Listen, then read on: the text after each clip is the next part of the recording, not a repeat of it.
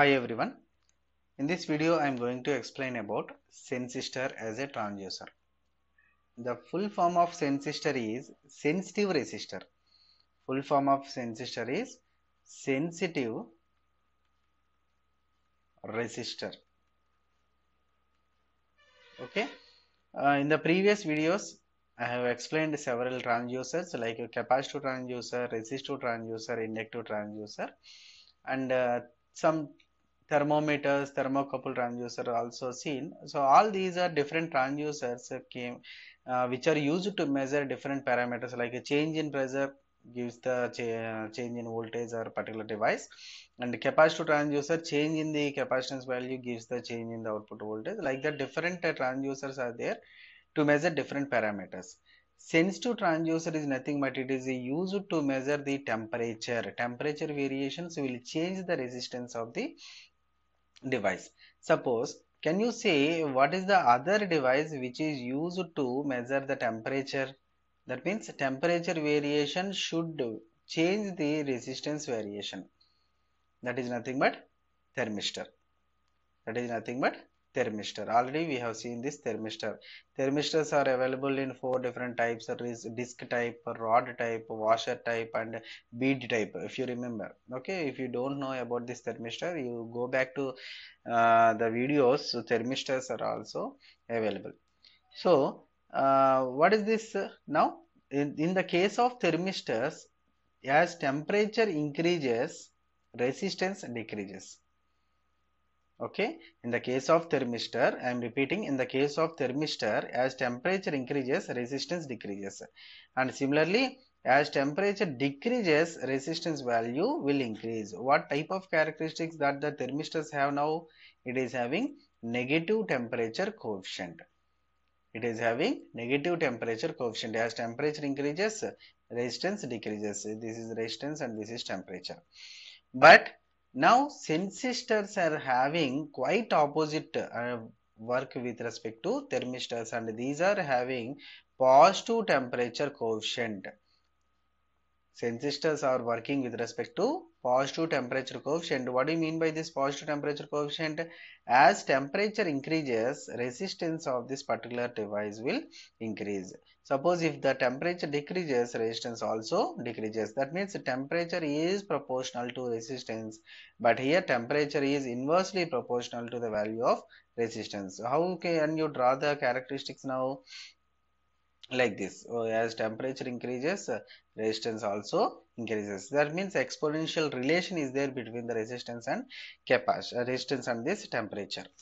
Okay so now let us see some theoretical concept of what are the different uh, uh, concepts we are having on this sensistors so sensistor is a non-linear variable resistor. It is having a variable resistance depending upon the movement uh, variations of the temperature. The resistance increases exponentially with temperature. That is the temperature coefficient is positive that is temperature coefficient is positive. So 0.7 percent per degree celsius. What happens? Uh, suppose temperature increases uh, 2 degrees celsius to uh, let it be 20 degrees celsius to that, 23 degrees celsius 22 degrees celsius to 23 degrees celsius. So per degree one degree variation is there one degree increment is there in the temperature that causes 0.7 percent increment in the resistance value. Okay? That means there will be a exponential relation between the resistance variation with respect to temperature variation. Sensistors are used in electronic circuits for compensation of temperature influence or as sensors of temperature for other circuits. Sensistors are made by using very heavily doped semiconductors so that their operation is similar to positive temperature coefficient type thermistors. I told you already it, these are having positive temperature thermistor coefficient type materials and as well as how to make these sensistors by just adding high impurities okay normally we have some concentration levels in any doping uh, in any semiconducting materials. Uh, so here we have the semiconductors we are having higher concentration levels compared to the normal semiconductors. So here we are using uh, very highly doped semiconductors. Now that behaves highly semiconducting doped materials behaves more like a metal and the resistance change is more gradual than it is the case for the other positive temperature coefficient thermistors. So what you can understand from this point? See uh, in normal how we have uh, three types of materials we know that um, conductors semiconductor and insulator so how to prepare a semiconducting material? How to prepare a semiconducting material? We are taking a conductor and adding some impurities to this. Then it becomes semiconductor. Okay? Now how much amount of impurities to be added? It is having a count. Okay so some uh, some concentration should be there. How to convert a conductor into a semiconductor? Let it be a p type or n type whatever may be the semiconductor we should have some concentration level. So if you add more impurities than it what he is saying it behaves like a metal and the resistance of that particular metal can be changed gradually with respect to this uh, uh, temperature variation more gradual variation is there compared to other devices which are working with this positive temperature coefficient thermistors. So the materials which we are using to make this sensistor are manganese and cobalt. So these are the characteristics of this sensistors uh, what are the characteristics that the thermistor uh, that the uh, sensistors are having sensistor has positive temperature coefficient positive temperature coefficient what happens? What positive temperature coefficient means? Temperature increases and as well as resistance increases. Temperature decreases. What happens? Resistance decreases. So exponential relation. Exponential relation between these two. So this is the curve because of this positive temperature coefficient can you draw the same characteristic curve for negative temperature characteristics. So negative temperature characteristics works like this.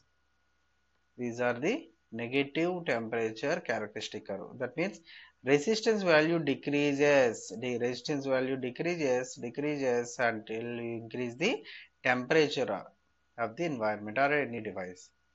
Okay? So now we are uh, having a circuit here where we are connecting this sensistor as one of the uh, uh, one of these circuit components RT so now what happens? We are applying some heat over there so that the sensistor will change because of this temperature variation sensistor will change the resistance R value here so that the uh, circuit becomes uh, somewhat imbalanced and produces some output voltage V out.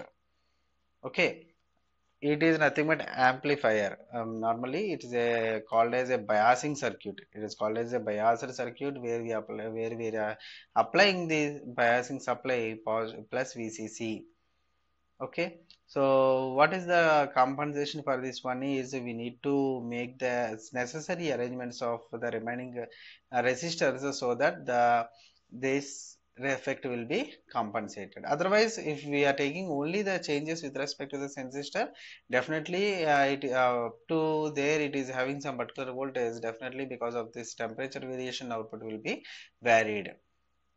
Okay? Without variation of this temperature the circuit uh, works normally. When the, it is having the variation in the temperature definitely the circuits the output will vary.